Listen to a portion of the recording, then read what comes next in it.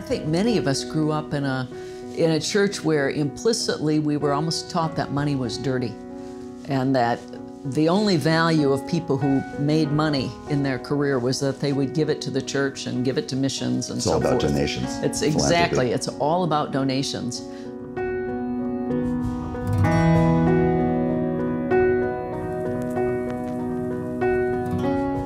I think the way in which the church is going to influence culture and and be the kind of witness it needs to be is that people are going to understand what it means to live as Christians 7 days a week. And the way in which we can be salt and light in the world, I think, is the way in which we conduct ourselves Monday through Friday in the workspace. How do we how do we live as parents and grandparents? My grandfather was a was a lay pastor.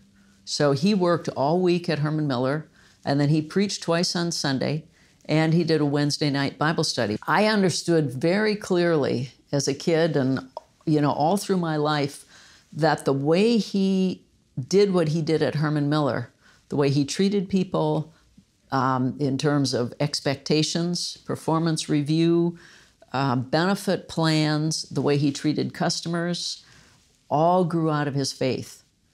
And even in the Depression, when he never knew where the next job was going to come from, he would go sell the job, come back to the factory, and explain to everybody in the factory how the numbers were going to work. Here's what they'll pay us for this job. Here's what the materials cost. Here's what the profit is going to be. And here's what each of you is going to make. Are we going to do it or Extraordinary transparency, especially Yeah. at that time. and they voted.